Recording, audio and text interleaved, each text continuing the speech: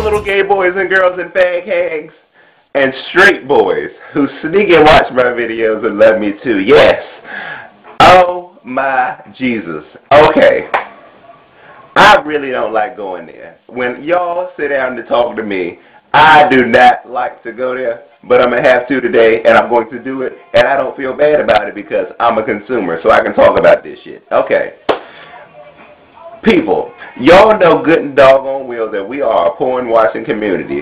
When y'all got on the computer to type where y'all wanted to come next, y'all know among many of the different things that popped up in your cookies, www.myvista.com came up in that shit, okay? We love porn. We definitely watch porn. We know who all the porn celebrities are. We go vote for them in the Latino Awards. We know what uh, Raws is.